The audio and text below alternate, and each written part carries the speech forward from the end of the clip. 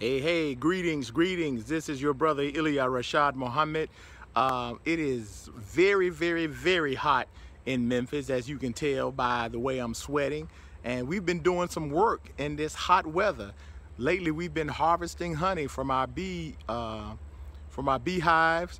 And I just want to see some, show you some of the after effects after we harvest honey. Let me see if I can. Uh... Okay, here's another look at some of the sample comb that's left over after we extract the honey from the uh, from the frames.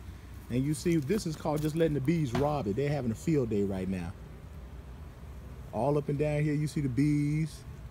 See them now they're not bothered too much by me because they're enjoying getting some of the leftover honey as they're all up in here